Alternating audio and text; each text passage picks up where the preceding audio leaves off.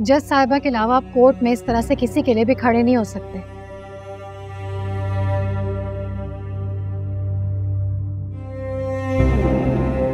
किसी के लिए नहीं खड़े हो सकते ना? लेकिन अपनी बीवी के लिए तो हो सकते हैं।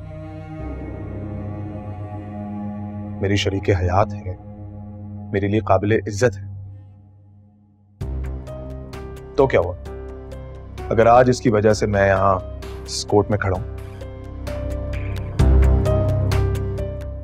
प्यार तो भी करता हूँ, है ना? ओ प्लीज़ डोंट लाई इन्हीं ट्रिक्स की वजह से मैं अपनी बहन को ब्याह दिया तुमसे।